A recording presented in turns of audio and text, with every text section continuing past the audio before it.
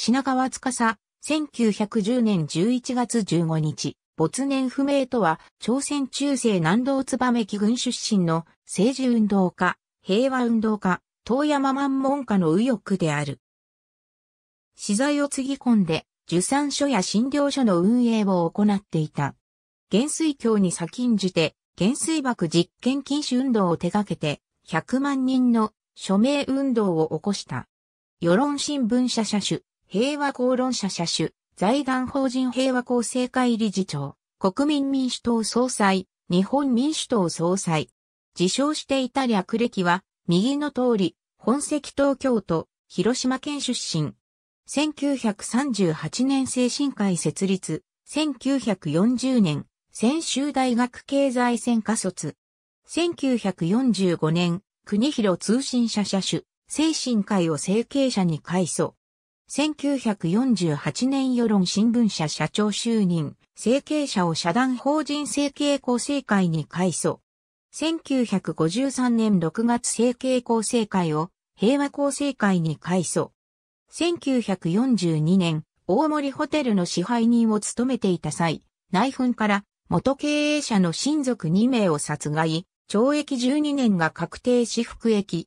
1950年頃、藤戸坊と養子縁組して日本に転籍。1952年頃に出所。非選挙権獲得直後より東京を選挙区とする国政選挙を主に立候補し続ける。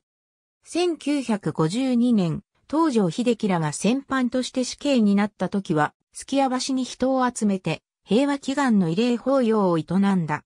1955年の第27回衆議院議員総選挙後の3月5日、有権者を個別訪問した疑いで、公職選挙法違反で逮捕された。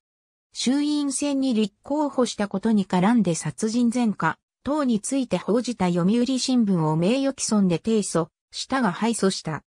1956年の第4回参議院議員通常選挙の選挙戦では、港区、中央区、千代田区、品川区を中心に関係諸団体の支持を背景に検討した。1968年の第8回参議院議員通常選挙では、今村仁志元陸軍大将、松隈秀夫元専売公社総裁、大浜新戦前早稲田大学総長、加納理性行動官官長、河合久人元警視総監、コロンビアトップ、コロンビアライトなどの推薦を受けた。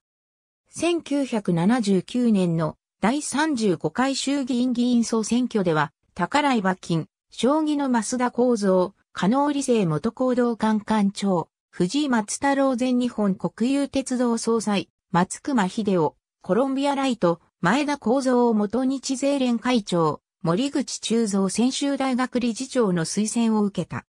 1983年の第13回参議院議員通常選挙では、赤木宗則元農林大臣、大月文平日経連会長、加納理生、長尾博吉元衆議院議長、松隈秀夫などの推薦を受けた。